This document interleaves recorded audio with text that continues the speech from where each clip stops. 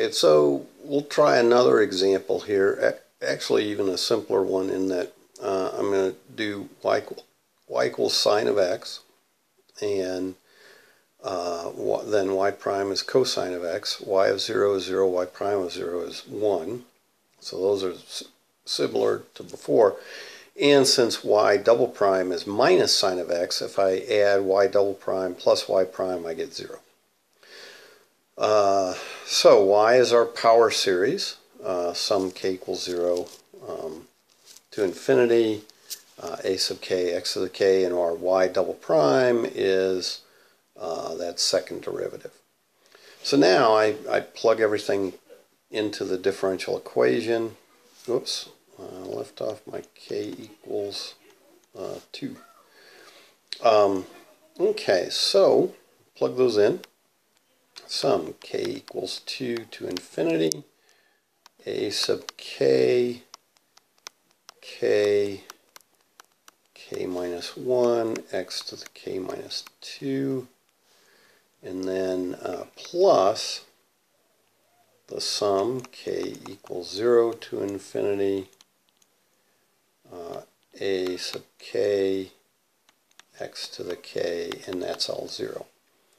So now I need to get my exponents right. So we're going to let uh, j equal k minus 2 and that means k equals j plus 2 and here we'll just do uh, j equals k. And uh, so once again put this in, I get j equals 0 to infinity. Uh, I'm going to do the k and k minus 1 first. So um, j plus 2, uh, j plus 1 times a to the j plus 2, and then um, plus the sum uh, j equals 0 to infinity a sub j, x to the j, whoops, I forgot my x to the j back here, x to the j uh, equals 0. Pulling in uh, all like terms together, we get the sum j equals 0 to infinity.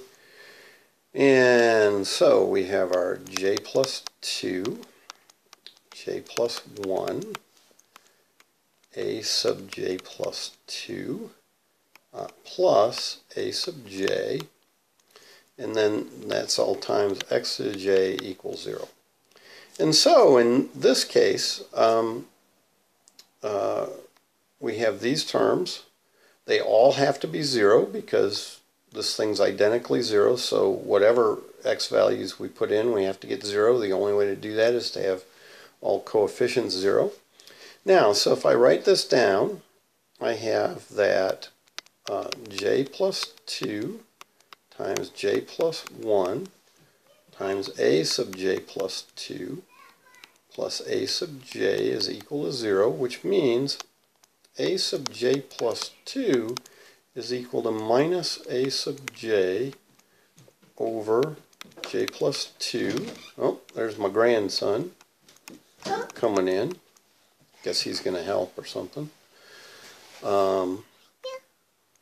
Okay, so. Hmm? Yeah.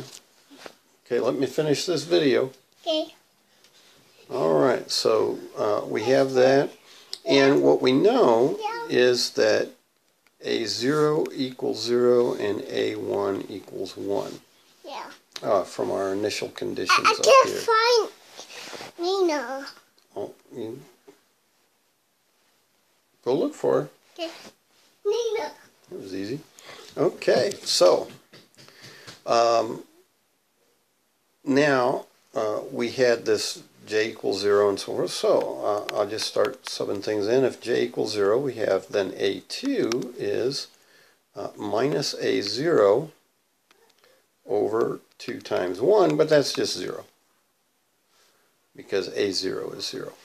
Then j equals 1, we have that a3 is equal to minus a1 over uh, 3 times 2, which is minus 1 over 3 factorial. Now, I'm partly I'm doing 3 factorial because I know that the answer is going to be signed, so I'd rather use this as 3 factorial because I should get factorials and the rest of the stuff. Uh, j equals 2, a4 is equal to minus a2, but a2 was 0. And then uh, 4 times 3, so I get 0. Uh, j equals 3, that's a sub 5, and that's minus a 3 over uh, 5 times 4.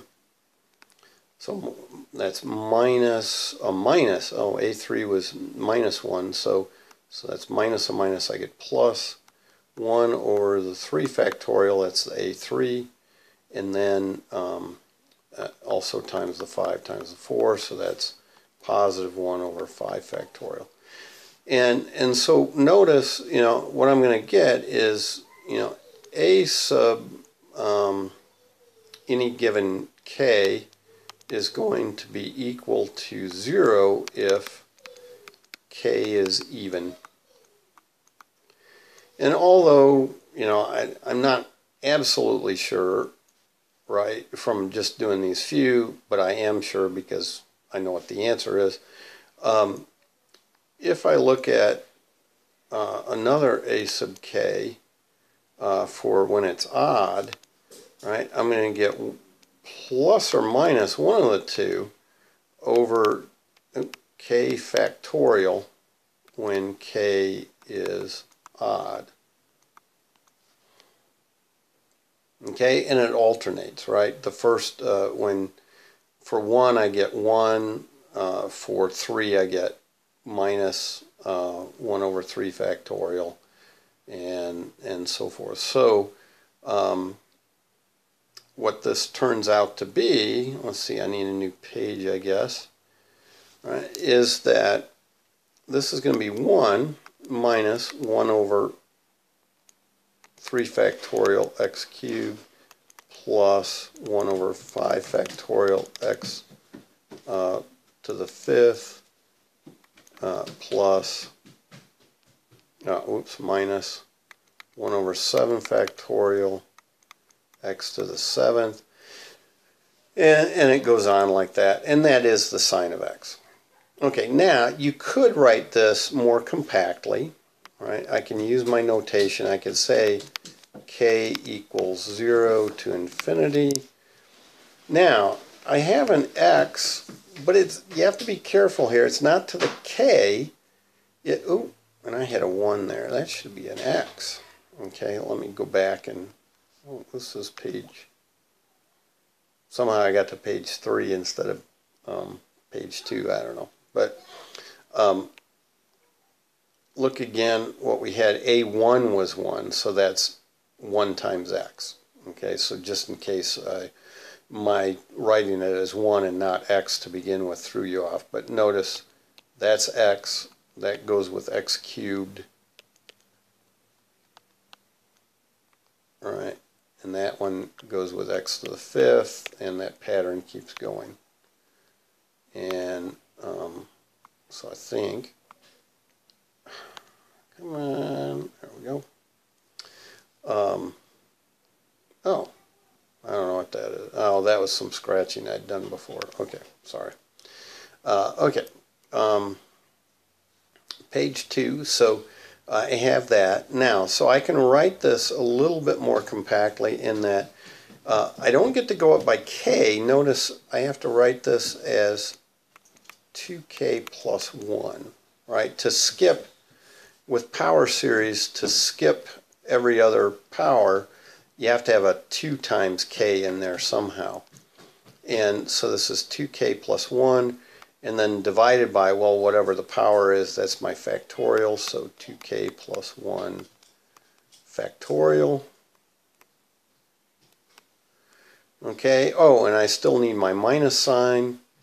Well, when k is 0, I have a positive, so I could write this as negative 1 and a k like that.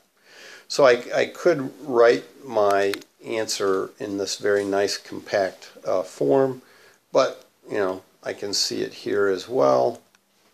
And, um, and sometimes you really can't write it very well in a compact form. It's usually just when we have very nice uh, answers that we we kind of know. And there there are certainly others where we wouldn't know that you know what the function was that we were working with, but you could still get a pretty nice compact form like that. Uh, but generally speaking, you know what we want to do in in these kind of problems for us is just get this idea that we can do it this way, and we can get these first few terms um, so that we show we we know the basic idea. Okay, so again, um, I'm just solving a problem that we knew how to solve anyway, in this case. Um, and uh, we can go through the solution um, using these series and get to our uh, final answer here. Um, you know, something like this at the top up here, or a compact form like that. So there's uh, another example.